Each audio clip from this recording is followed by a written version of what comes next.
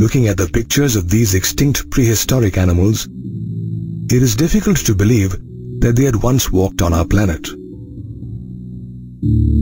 In fact, the Earth and its numerous life forms were originally different. To understand the changes in life forms on Earth over millions of years, we need to know how life originated. The origin of life forms, or biodiversity, is interlinked with the evolution of the Earth, which is again closely associated with the evolution of the universe. The universe is vast, comprises many galaxies, and is almost 20 billion years old. The Big Bang Theory attempts to explain the origin of the universe. According to this theory, a singular huge explosion caused the infinitesimally small, hot and dense universe to expand, which resulted in the lowering of temperatures. It even states that the universe continues to expand even today. After the passage of time, gases such as hydrogen and helium got formed. They condensed due to gravitation and gave rise to different galaxies in the universe. One of the galaxies known to us is the Milky Way, which contains the solar system, and the Earth is one of the planets in the system. At the time of its formation, there was no atmosphere on the Earth. Its surface was covered by water vapor, methane, carbon dioxide, and ammonia released from the molten mass. Gradually, the ultraviolet rays of the sun broke up the water, which was in vapor state, into hydrogen and oxygen. Hydrogen, being a lighter gas than oxygen, escaped.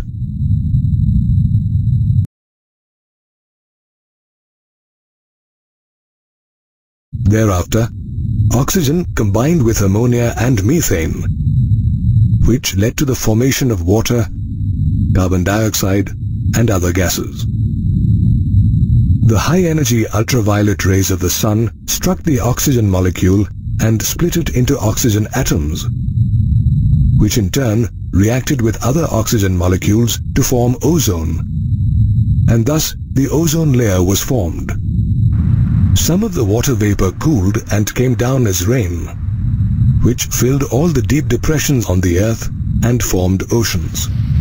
It is estimated that life appeared on Earth 500 million years after its formation. There are different theories that try to explain the beginning of life on Earth. Some of them are panspermia, spontaneous generation, biogenesis, and chemical evolution. Panspermia is the oldest theory founded by Greek thinkers. It explains that units of life called spores were transferred to different planets. Panspermia assumes that seeds of life exist all over the universe. Therefore, the life on Earth may have originated after one such seed was deposited on the Earth from somewhere in the universe. This theory generates much interest even today. Another belief was that life arose from inanimate things. The theory of spontaneous generation assumed that life came out of non-living, decaying and rotting matter such as stones, straw and mud. Even famous Greek thinker and philosopher Aristotle believed in this theory. In fact, this theory was used to explain even Anton von Leeuwenhoek's findings of animalcules using the simple microscope. Moreover, some scientists, such as John Needham, supported the theory of spontaneous generation by conducting some experiments. In one of his experiments, Needham boiled chicken broth in a flask and then cooled it to room temperature in an open container. Later, he sealed this container. After a few days, he observed a few microbes in it. Needham believed that some life force had brought about this spontaneous generation in the chicken broth. The theory of spontaneous generation was in vogue until a German biologist, Rudolf Virchow, challenged it with his theory called omnis cellula acellula, which expounded that living cells can arise from pre-existing cells. However, he could not prove this theory of biogenesis. Later on, Louis Pasteur, with his experiments, proved the theory of biogenesis and forever silenced the advocates of spontaneous generation. In his experiment, he used pre-sterilized sealed flasks with killed yeast. These flasks did not show any signs of life. On the contrary, in another flask, he exposed killed yeast to air. Surprisingly, living organisms were found in this flask. Another theory, called the theory of chemical evolution, was expounded by Russian scientist Alexander Ivanovich Oparin and British scientist John Burdon Sanderson Haldane.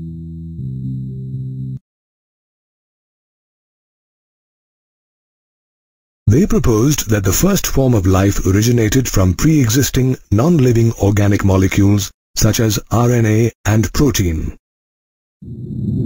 They also pointed out that the birth of life was preceded by chemical evolution or the formation of diverse organic molecules from inorganic constituents. When the earth was created, the conditions were high temperature, volcanic storms, and reducing atmosphere consisting of methane and ammonia. In 1953, American scientist Stanley Lloyd Miller recreated these conditions in a laboratory.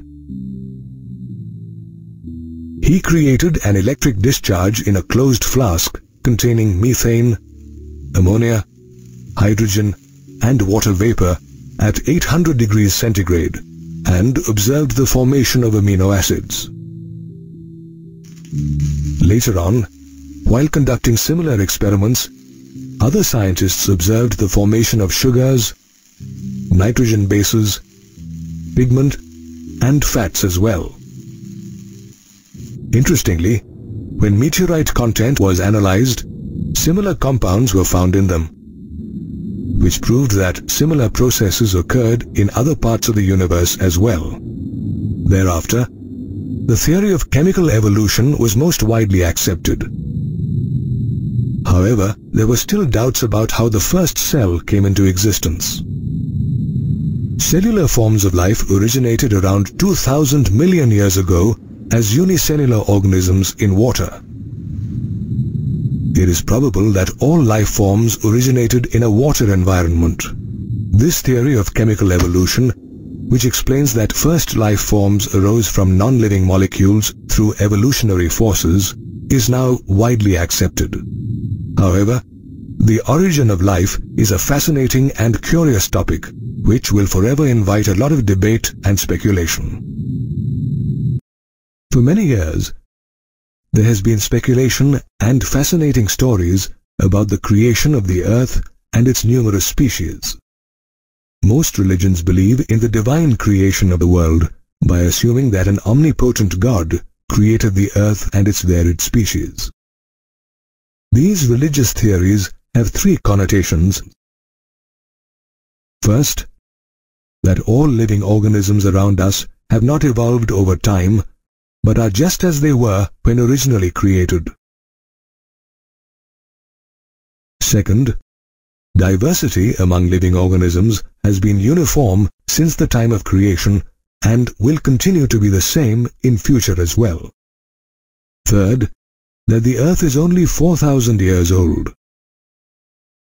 These ideas faced opposition in the 19th century when English naturalist Charles Robert Darwin suggested that complex organisms have evolved from simple ancestors.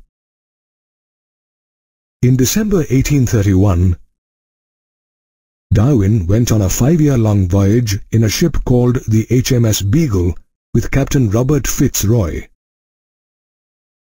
During this time, he conducted various natural history collections and studied the geology of many places.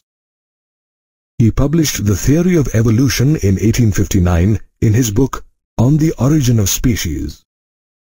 Darwin pointed out that existing living forms share similarities to varying degrees among themselves as well as with life forms that existed millions of years ago. Several life forms have become extinct now. However, new forms of life have also come into existence during different periods of time. Therefore, life forms are constantly undergoing evolution. Darwin pointed out that natural selection was the mechanism of evolution. According to this concept, any population of organisms that adapts itself more readily to the natural conditions such as climate, food and physical factors has a better chance of survival. Darwin primarily emphasized the importance of reproductive fitness of the individual or the population. In other words, organisms with good fitness outbreed the others and therefore are selected by nature. Natural selection preserves and accumulates advantageous genetic mutations. For example, Consider that a species develops an advantage as it grows wings and learns to fly. This advantage will be passed on to their offspring across generations. Inferior or disadvantaged members of this species who fail to cope with this change will gradually perish. On the other hand, the superior or advantaged members of the species who can use their wings with competence will be left behind. In this way, Darwin argued that natural selection preserves species with functional advantages as they can compete better in the natural environment and leave behind more progeny. Another British naturalist, Alfred Wallace, a contemporary of Charles Darwin, made similar observations by proposing the theory of evolution due to natural selection. Wallace did extensive fieldwork in the Amazon River Basin and the Malay Archipelago. He also came to the conclusion that existing life forms share similarities and common ancestors who were present during different periods of the Earth's history. The theory of evolution most certainly established that the Earth is billions of years old. It was also a path-breaking theory because in spite of its contradictions, it demystified the idea of divine creation. The theory of evolution suggests that there is a change in the inherited traits of a population of organisms through generations. This theory gathers more evidence with the study of fossils of prehistoric organisms. The word fossil is derived from the Latin word fossus, which literally means having been dug up. Fossils are the preserved remains of animals, plants, and other organisms found in the sedimentary layers of rocks. On observing a cross-section of the Earth's crust, we find that these layers are arranged on top of each other and signify different periods of the Earth's history. Therefore, Fossils in different rock sediments pertain to the same geological period as that particular sediment layer. For example, fossil remains of dinosaurs belong to the Mesozoic era. Therefore, while some fossils belong to animals which have become extinct now, some of them also seem similar to modern organisms. Fossils suggest that some life forms varied during various periods of the Earth's history, while some flourished only during a particular geological period.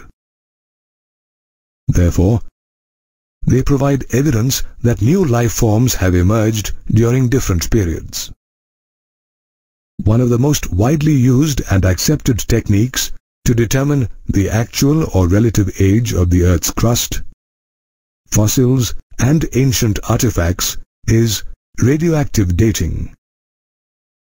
In this technique, a comparison is drawn between an abundantly available radioactive isotope and its decay products by using the rate of decay. Fossils are also of great help in morphological and anatomical studies. They also help in comparative anatomy, which is the study of the similarities and differences in the internal anatomy of organisms of the past with those of today. There are two concepts of comparative anatomy. Homologous and analogous structures. If we look at mammals such as human beings, cats, whales and bats, we find that all of them have similar patterns of bones in their forelimbs. For example, bones such as the humerus, ulna, radius, carpals, metacarpals, and phalanges are common in the forelimbs of all mammals. Notice that the anatomical structure of the forelimbs is similar even though its functions are different in all mammals. Thus, when the same structures develop along different directions because of specific needs of different animals, they are known as homologous structures. These structures point to a common ancestry, and this type of evolution is called divergent evolution. Similarly, in plants, the thorns of the bougainvillea and tendrils of the cucurbita represent homologous structures and indicate common ancestry. In the same way, biochemical similarities also point to a common ancestry. For example, similarities in a protein called cytochrome C in all aerobic organisms and blood proteins in animals provide evidence that these organisms have descended from a common ancestor. On the other hand, when anatomically different structures evolve to perform similar functions in different organisms, they are known as analogous structures. For example, the flippers of penguins and dolphins and the wings of butterflies and birds are analogous structures. Since these animals have similar structures but unrelated ancestry, they point to convergent evolution. In plants, examples of analogous structures are potato and sweet potato, which are modified root and modified stem respectively. Over millions of years, evolution has resulted in the creation of many breeds of animals and plants. Natural selection of the fittest organisms has been crucial to the process of evolution. The theory of natural selection is best reflected in the substantial increase in the number of dark-winged moths compared to the white-winged moths after the Industrial Revolution in England. In a collection of moths in the 1850s, before the onset of the Industrial Revolution, a larger number of white-winged moths than dark-winged ones were detected. Conversely, after industrialization, it was observed that the population of dark-winged moths had increased considerably in the same area. The reason cited for this reverse proportion of moths was that before industrialization, the barks of trees were covered with white lichen, which camouflaged the white-winged moth and exposed the dark-winged moth to predators. After industrialization, however, the lichen died due to pollution and the barks of the trees became black due to smoke and soot. This created perfect conditions for the growth of dark-winged moths as they could not be spotted easily on the dark surfaces now. Meanwhile, the white-winged moths could be easily noticed by predators and as a result their numbers shrunk. However, in rural areas where industrialization had not taken place, the count of dark-winged moths was low. This study proved that in a mixed population, organisms which adapt themselves to the existing environment have better chances of survival and increasing their population size. At the same time, no variant is completely wiped out. Evolution is also impacted by processes and materials derived from human activities. For example, excessive use of pesticides results in a selection of resistant varieties within a small period of time. Similarly, resistant microbes also emerge when we use antibiotics and drugs. For example, Staphylococcus aureus is a resistant pathogen. Found on the mucous membranes and the human skin in around one-third of the population, it is extremely adaptable to the antibiotic penicillin. Therefore, we conclude that evolution is not a predetermined process, but a random process. It is completely based on chance events, chance mutations, and it is also impacted by human activities. During his long expedition on the HMS Beagle, Charles Darwin carried out several interesting studies on the geology of different places. One of the observations crucial to his theory of evolution was made by him on the Galapagos Islands, which are near the equator in the Pacific Ocean. The Galapagos is an archipelago of volcanic islands with varied wildlife.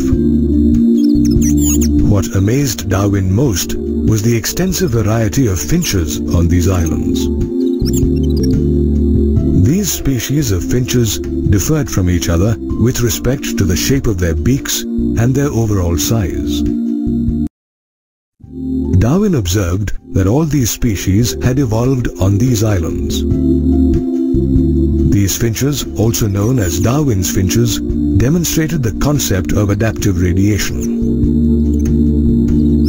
It is a type of evolution in which species in the same geographic area derived from a common ancestor successfully adapt themselves to their natural environment due to natural selection. Adaptive radiation is of two types, adaptive divergence and adaptive convergence. In adaptive divergence, animals of the same or closely related group exhibit great divergence in their morphology when found in a different habitat. For example, the finches of the Galapagos Islands. These finches had originally come from the South American mainland to the Galapagos Islands. With the passage of time, they multiplied and began to compete with each other for food. As a result, all the food resources on the islands were used to the optimum. To take advantage of all the available food sources on the islands, the finches adapted themselves to the different varieties of food. One observable trait that pointed to this adaptation was the altered beaks of different species of finches. Their beaks divided them into specialized insectivorous and vegetarian varieties respectively. Another type of adaptive radiation is adaptive convergence, where animals of unrelated groups occupying the same habitat exhibit common features. For example, Australian marsupials such as the kangaroo, marsupial rat, banded anteater, tiger cat, Tasmanian wolf, and koala.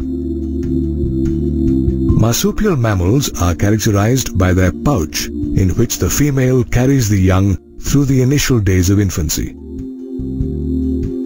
Many different types of marsupials with different ancestry have evolved on the continent of Australia.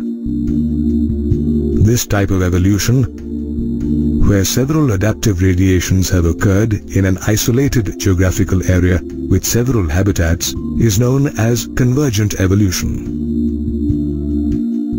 On tracing the evolution of these marsupials, it was found that the drifting of the continents had shaped their history.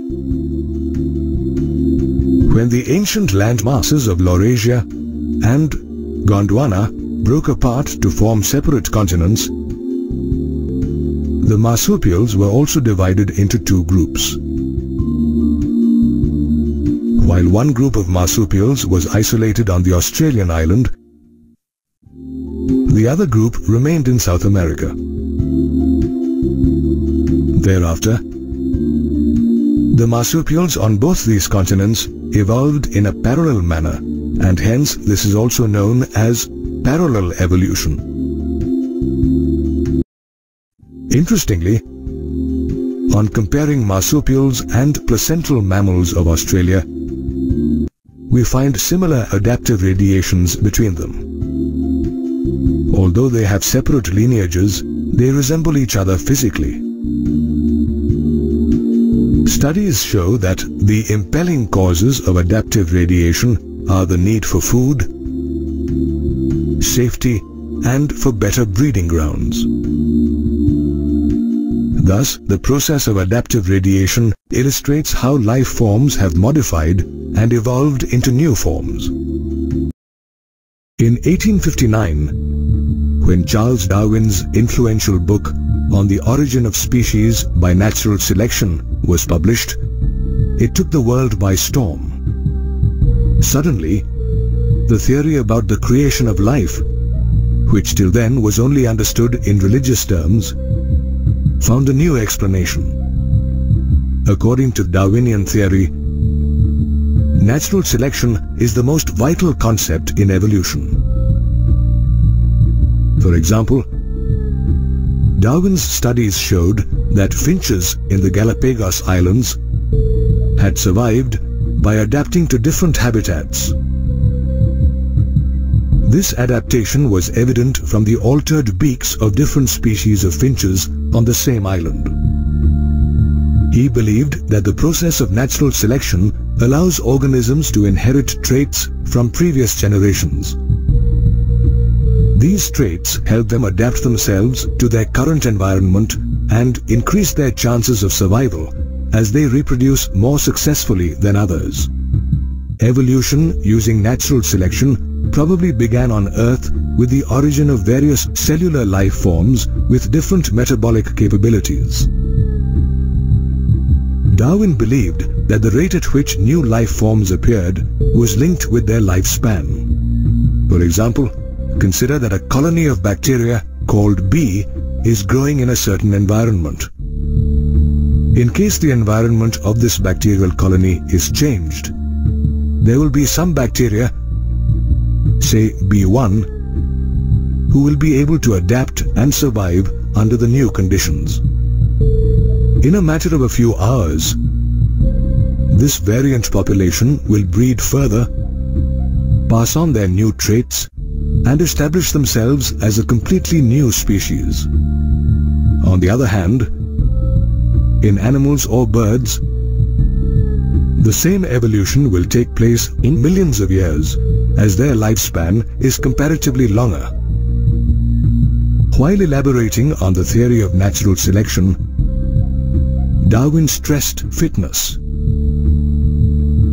Nature favors the survival of the fittest in other words, individuals who are fitter than others have a greater potential for survival. For example, in the case of the bacteria, the variant bacterial population B1 had greater fitness to adapt itself to the new environment than the original bacterial colony. This ability to adapt itself lies in the genes of an organism and is inherited.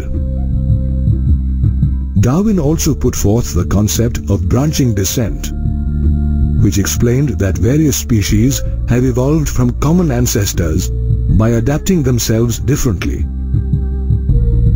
However, this rate of change may have varied across species. In this way, Darwin refuted the old theory of evolution by the use and disuse of organs propounded by French naturalist Jean-Baptiste Lamarck. Lamarck had conjectured that giraffes had adapted themselves and elongated their necks while trying to eat the leaves of tall trees. Over millions of years, giraffes had made optimum use of their necks and passed on the character of a long neck to future generations. Consequently, giraffes developed long necks over millions of years. However, Lamarck's theory about the use and disuse of organs is not accepted anymore. Evolution has always generated a lot of debate. In fact, no one has been able to say with certainty whether evolution is a process or an outcome of a process like natural selection. Around the time when Darwin proposed the theory of evolution, a British scholar and economist, Thomas Malthus, propounded his influential theories about population and the factors that lead to its increase and decrease. Malthus's thoughts impacted Darwin and he concluded that natural selection in population was also based on certain facts.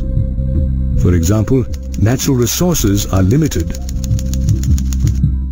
The size of populations is generally stable except for seasonal fluctuations such as natural disasters and that there is variation in the characteristics of members of the same population even if they look similar. These variations are inherited. Darwin observed that exponential growth of population due to maximum reproduction or overproduction is possible in animals such as microbes. However, the population growth of organisms is limited because they compete with each other for natural resources. For example, a rise in the fish population of a river will lead to subsequent competition among them for resources. Therefore, organisms who adapt themselves and compete fiercely will survive, while the weaker ones will perish. Supporting his natural selection theory, Darwin pointed out that it was the inherited variations in organisms that helped them adapt to natural resources to the maximum and survive. These organisms, who adapted themselves better to their environment, reproduced more. After millions of years, their progeny brought about a change in population characteristic and that's how new forms of life came into existence. Scholars have often wondered how the Darwinian concept of variation through inheritance actually occurred. Although Gregor Johann Mendel the founder of genetics, pointed out that inheritable factors influenced genotypes, Darwin chose to remain silent on this subject. At the beginning of the 20th century, Hugo de Vries, a Dutch botanist and geneticist, based his study on the evening primrose and founded the idea of mutation. De Vries believed that it was sudden mutations in populations that brought about evolution. This idea went against the Darwinian concept of minor variations that occur slowly over many years and lead to evolution. In fact, De Vries argued that mutations were random and directionless.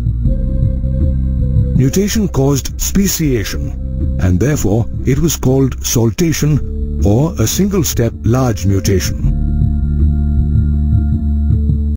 In the years that followed, the study of genetics became more specialized and provided several new insights into evolution.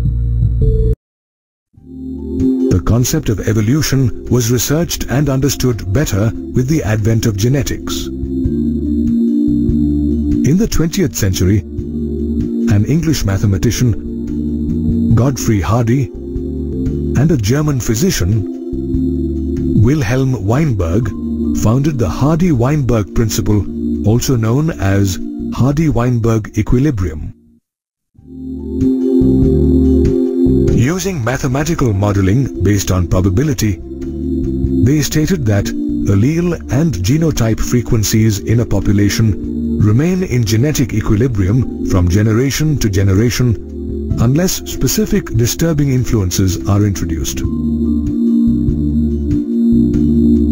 In other words, the totality of alleles of all genes in a population is called the gene pool, which remains constant for a given population.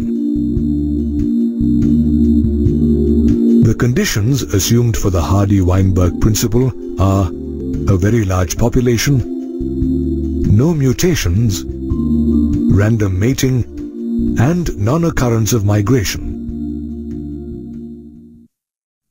Hardy and Weinberg developed a simple equation known as the Hardy-Weinberg equation to study the genetic equilibrium of a given population. Let's understand how this equation is derived. The sum total of all the allelic frequencies is 1. Generally, there are two forms of a gene. That is, two alleles for one character. Each of these alleles has an equal chance of getting inherited. Therefore, the frequency of the alleles would be 0.5 plus 0.5 which is equal to 1. Let us name some individual frequencies as P and Q. In a diploid individual, P represents the frequency of the dominant allele capital A, while Q represents the frequency of the recessive allele small a.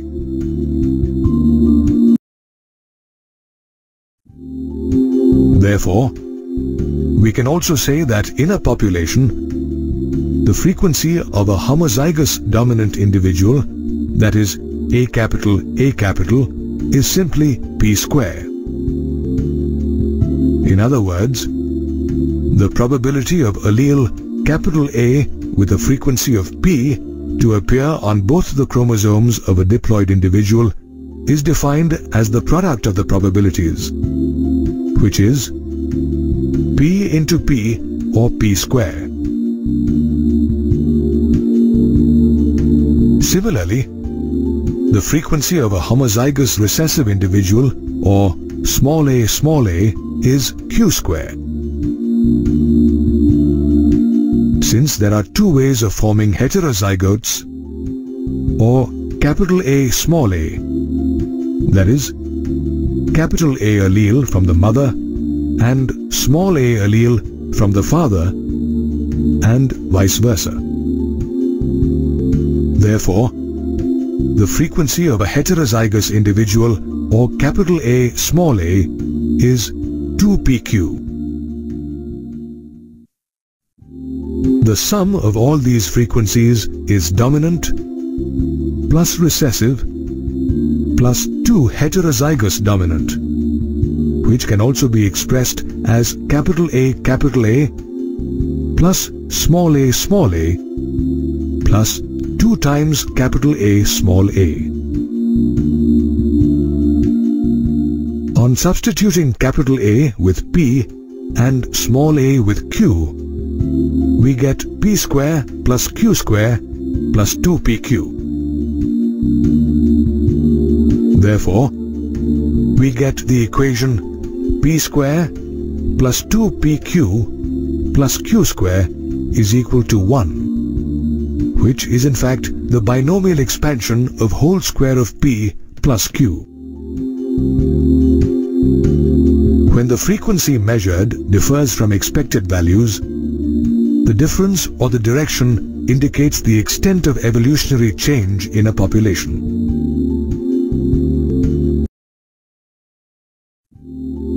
For example, generally the frequency of P or Q is 0.5. If it changes to either less than or more than 0.5, it would indicate evolutionary change. Can learn about the occurrence of evolutionary change, the direction of evolution, and the evolution rate of the selected trait by comparing the genotype frequencies of the next generation with those of the current generation. Genetic equilibrium serves as a baseline against which we can measure genetic change. However, it is affected by several factors such as gene migration or gene flow, genetic drift, mutation, genetic recombination, and natural selection. Migration impacts the equilibrium because when a population moves from one place to another, there are changes in the gene frequencies of the old and the new populations. Therefore, while new genes are added to the new populations, they are lost in the old population. When this gene migration takes place many times, it is called gene flow. Another factor that affects genetic equilibrium is a genetic drift, which is a change in the relative frequency with which a gene variant occurs in a population due to random sampling and chance. Mutation is another factor that affects the genetic equilibrium. On some occasions, the change in allele frequency due to mutation is so different in the new sample of the population that they become a different species. In this case, the original drifted population becomes the founder and the effect is known as the founder effect. Genetic recombination leads to variations in offspring. And if this variation is naturally better selected than the parental genes, it leads to speciation over a period of time.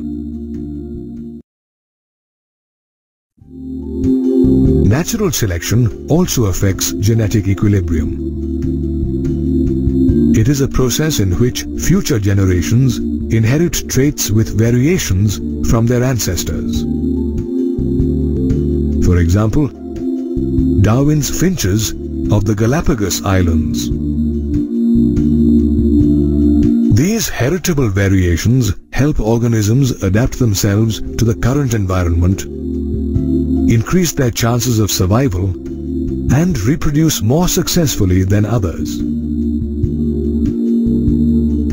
Critical analysis shows that variation due to mutation or recombination during gametogenesis or variation due to gene flow or genetic drift results in changed frequency of genes and alleles in future generations. In fact, Natural selection makes the existing population look like a different population. It can also give rise to situations such as stabilization, disruption, and directional change. Let's look at the distribution curves, which help us study the evolutionary process of the existing population. These curves also show how natural selection operates in various situations that impact a population. In the given diagram, the black dots represent the people who have died before passing on their genes. Notice that in stabilization, the extreme ends of the distribution are removed and everything moves closer to the middle. In other words, more individuals acquire the mean character value, which represents the highest number of the population with a particular trait. Natural selection can also lead to directional change. In the curves, notice that fewer people are able to attain the mean character value for a particular gene due to depopulation. Natural selection can also lead to a disruption situation, where a greater number of individuals acquire peripheral character values at both ends of the distribution curve. This situation occurs when the individuals at both ends of the curve have a higher survival probability than those in the middle. Evolution is a slow and sophisticated process. The Hardy-Weinberg principle helps understand evolution as it provides a baseline to measure the genetic change in a population.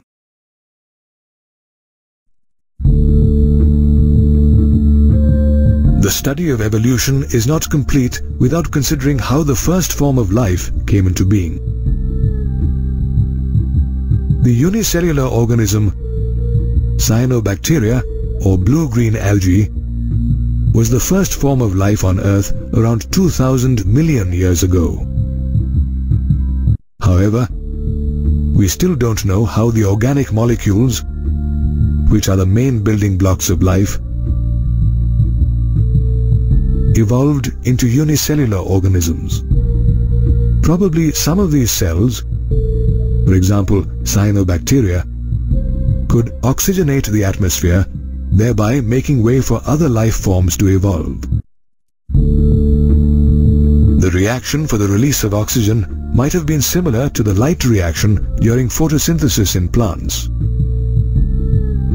During photosynthesis, the sun's energy helps to split water, resulting in the release of electrons that are channelized further by light harvesting pigments. This reaction ends in the formation of carbohydrates and the release of oxygen.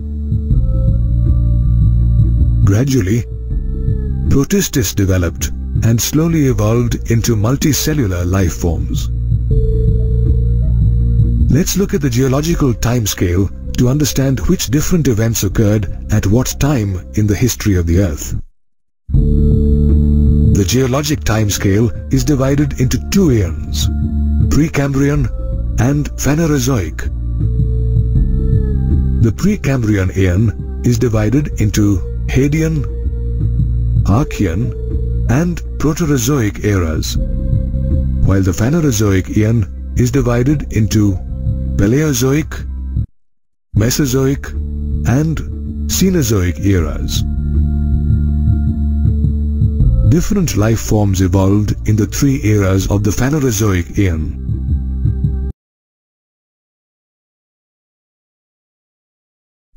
The Paleozoic era spans from around 540 or 570 million years ago to about 248 million years ago.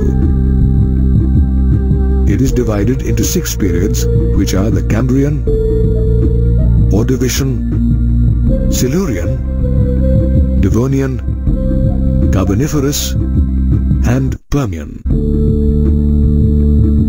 In the Cambrian period, plant life consisted of primitive algae and seaweeds, while animal life consisted of invertebrates such as sponges, starfish, and sea urchins.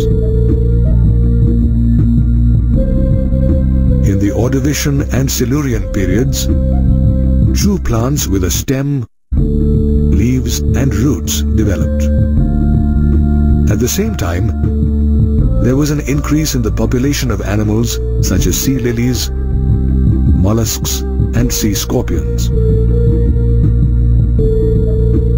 The Ordovician period also marked the evolution of the first vertebrate, the jawless fish, around 350 million years ago.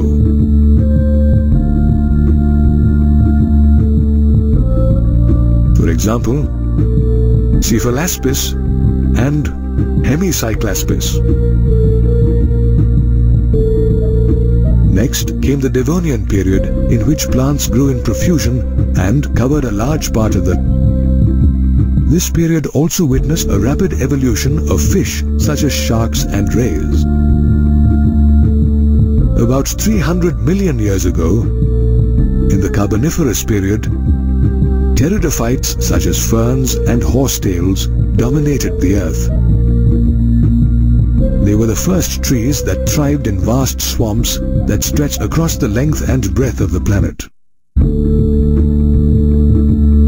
Over the years, these pteridophytes fell down and formed coal deposits.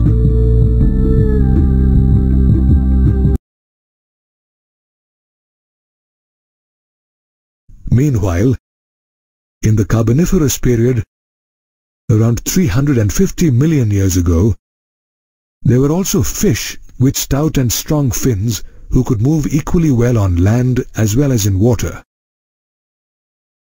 These were called lungfish. For example, Neoceratodus and Protopterus. Another important fish of this period were the lobe finfish, which later evolved as amphibians.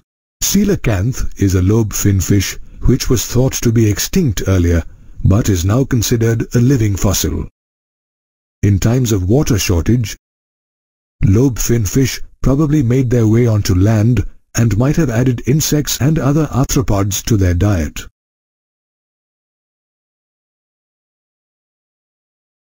Modern-day descendants of lobe finfish are frogs and salamanders.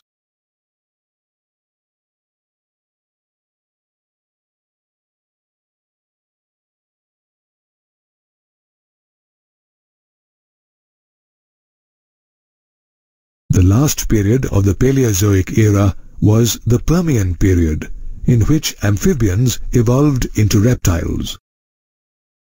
They laid eggs with harder shells that were able to sustain their own water and did not get dehydrated in the absence of water. Thus, reptiles became the first animals to successfully lay eggs on land and are known to be first terrestrial animals. In fact, for reptiles, water was no longer a source of life, but a food source that provided hydration as well. Over millions of years, reptiles evolved into different orders.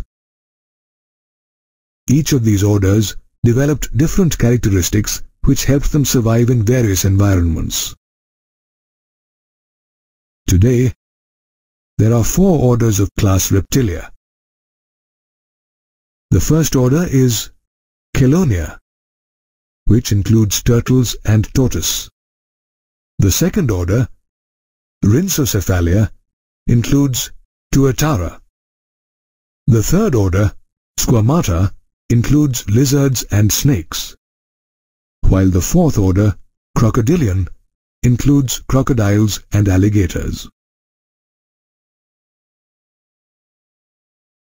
Meanwhile, the plants that existed during the Permian age were ferns.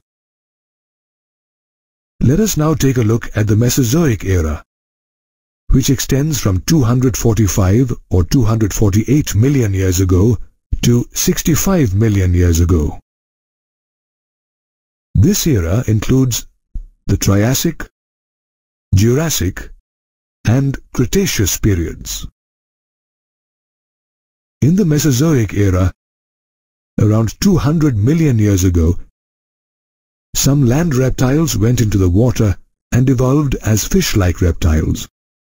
For example, Ichthyosaurus.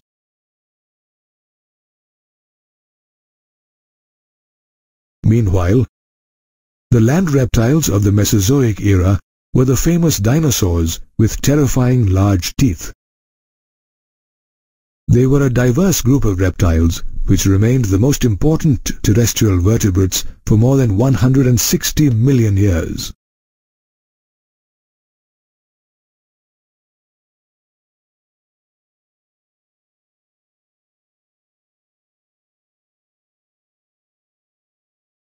The tallest dinosaur, known as Tyrannosaurus rex was around 20 feet tall. Fossils of T-Rex are found in a variety of rock formations. Dinosaurs suddenly disappeared 65 million years ago. They probably became extinct because they failed to cope with climatic changes or they may have evolved into birds. However, the precise reason for their extinction still remains unknown.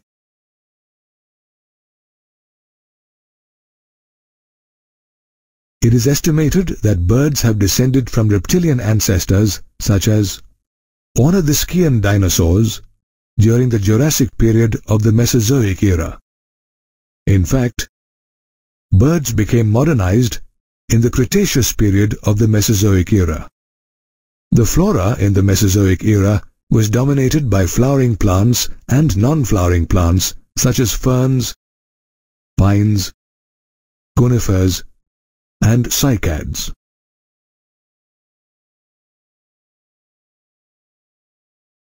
Let us now take a look at the Cenozoic era, which began 65 million years ago and continues till today.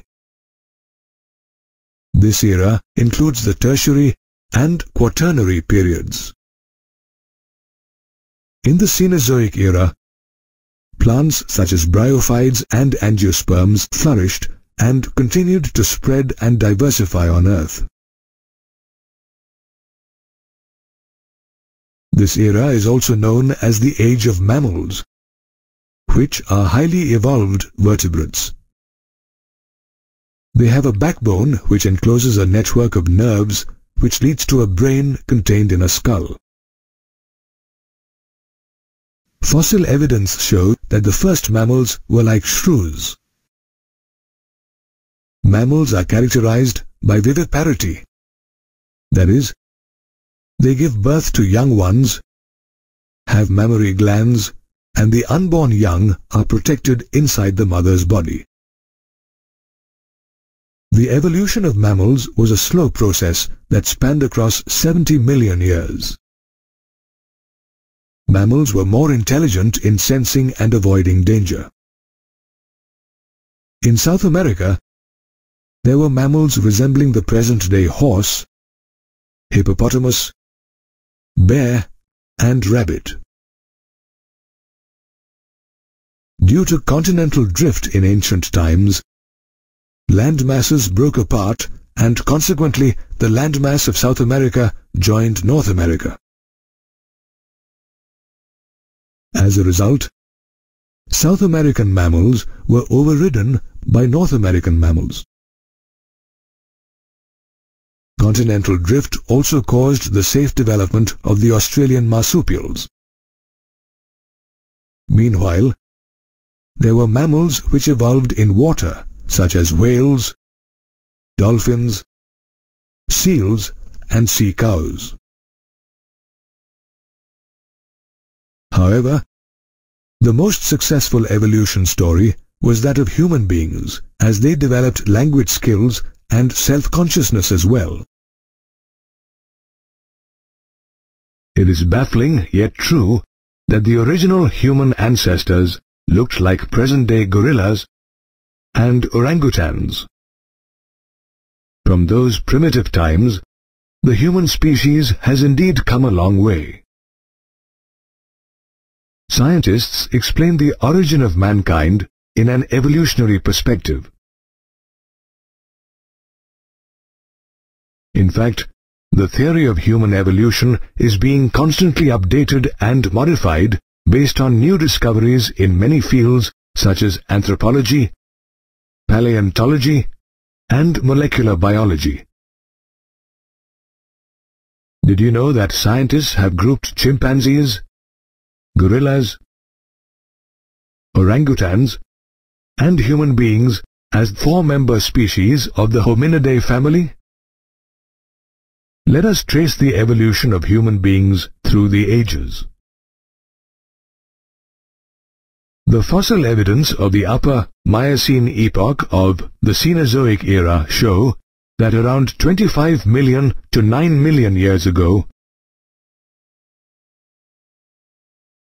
Dryopithecus, a genus of ape, lived in eastern Africa, Europe, and Asia. The term Dryopithecus means the oak tree ape in Greek. It is representative of the early members of the ape lineage such as gorillas and chimpanzees. However, it lacked most of the specialized features found in present-day human beings and apes. For example, the canines of Dryopithecus were larger than those of human beings, but they were not as strongly developed as those of the apes today. The structure of its limbs suggests that it walked like the chimpanzee, but used the palm of its hands to walk and did not use the support of its knuckles. Moreover, the skull of Dryopithecus did not have the well-developed crests and massive brow ridges as found in the skulls of modern apes.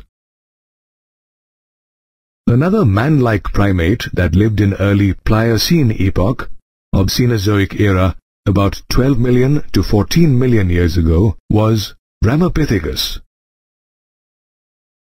Its fossils were found in Shivalik hills in northern India and eastern Africa in the beginning of 1932. It was an ape-like creature. However, on studying of its reconstructed jaw fragments and fossils, we come to know that Ramapithecus was an erect biped with hands free. Therefore, it was considered to be a probable human ancestor.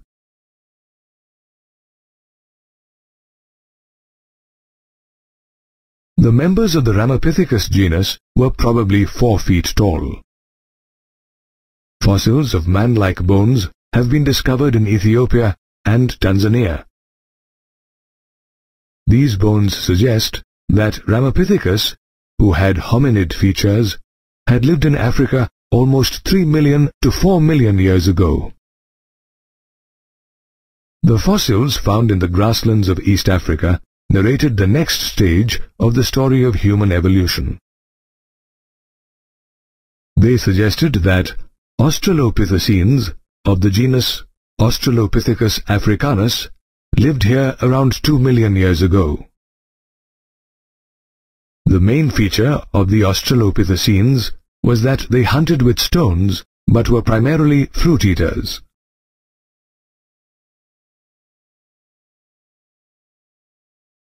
The first human-like beings were Homo habilis or the handyman as their bones were similar to the other Homo species belonging to the hominid family. They lived in sub-Saharan Africa between 2 million to 1.5 million years ago and had probably evolved from Australopithecus africanus.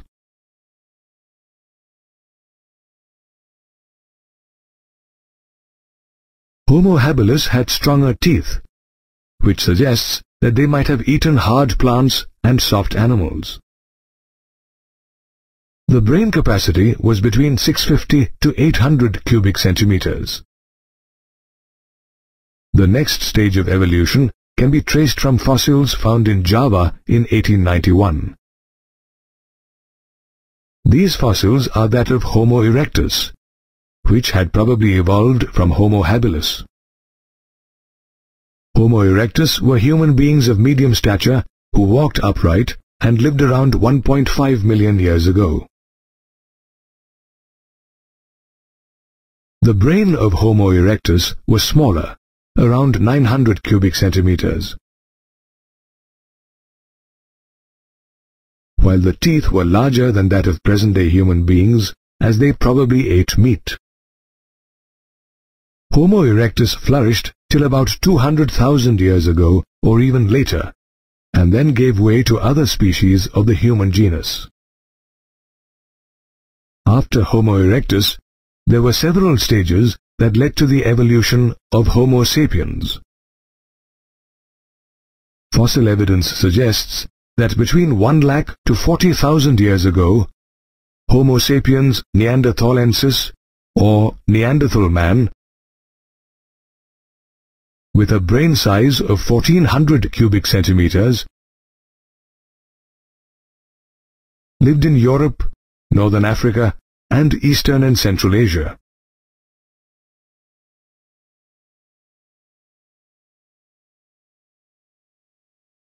The word Neanderthal is derived from the Neanderthal Valley in East Germany, where a Homo fossil was found in 1856.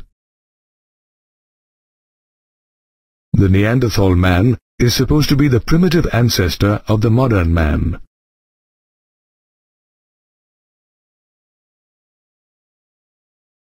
Members of the Neanderthal species used hides to cover their bodies and buried their dead. They were cave dwellers and good hunters and could use many tools. Neanderthal man was considered to be in direct line of ancestry of modern man. But they were wiped out by another primate, the Cro-Magnon man or Homo sapien fossilis, about 25,000 years ago. Fossils of Cro-Magnon man were discovered from the caves of northwestern Italy and France. These fossils suggested that the Cro-Magnon man had evolved between 20,000 and 50,000 years ago during the last glacial period. And their brain capacity was about 1660 cubic centimeters. The members of Cro-Magnon species were cave dwellers, good hunters, and carnivorous. They did not have any knowledge of agriculture and domestication of animals. The next species, Homo sapiens sapiens, probably evolved from the Cro-Magnon man between 75,000 and 10,000 years ago during the Ice Age. They began to practice agriculture around 10,000 years ago and settled in colonies. These were the formative beginnings of society, which slowly led to the rise of cities, empires, and civilizations owing to constant human growth and evolution.